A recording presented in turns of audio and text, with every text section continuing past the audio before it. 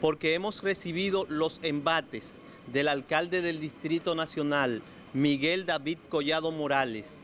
donde personas del mismo ayuntamiento, con orden expresa tanto de él como del director de espacio público, han golpeado y maltratado muchos de nuestros compañeros.